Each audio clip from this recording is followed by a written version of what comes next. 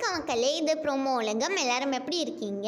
சிவங்கியோட அம்மா அவங்களோட இன்ஸ்டா ஸ்டோரியில் என்ன ஷேர் பண்ணியிருக்காங்கன்னா சிவங்கி இப்போ ரீசெண்டாக வந்து பாட்டு பாடும்போது அவங்க விஜய் சேதுபதியோட ஒரு பாட்டு பாடியிருந்தாங்கல்ல அதுதான் வந்து ஷேர் பண்ணியிருக்காங்க அப்புறமா சிவங்கி குக்குத் கோமாளியோட ஃபைனல்ஸ்க்காக அவங்க வந்து ப்ராக்டிஸ் பண்ணிட்டு இருக்கும் போது எடுத்த ஃபோட்டோஸ்லாம் ஷேர் பண்ணியிருக்காங்க நெக்ஸ்ட்டு வந்து ரொம்ப வருஷத்துக்கு முன்னாடி சிவங்கி சிவங்கியோட அம்மா கூட ஒன்றா சேர்ந்து ஒரு இன்டர்வியூ கொடுத்துருந்தாங்க. குக்குத் கோமாளிக்கு வந்தபோது அப்போ எடுத்ததெல்லாம் வந்து சொல்லியிருக்காங்க. சிவங்கி ஏஆர் ரஹ்மானோட கான்சர்ட் பற்றி அவங்களோட இன்ஸ்டா ஸ்டோரி ஸ்டோரியிலே ஷேர் பண்ணியிருக்காங்க. ஏஆர் ரஹ்மானோட கான்செர்ட் வந்து இப்போ தான் ரீசெண்டாக நடந்திருந்தது.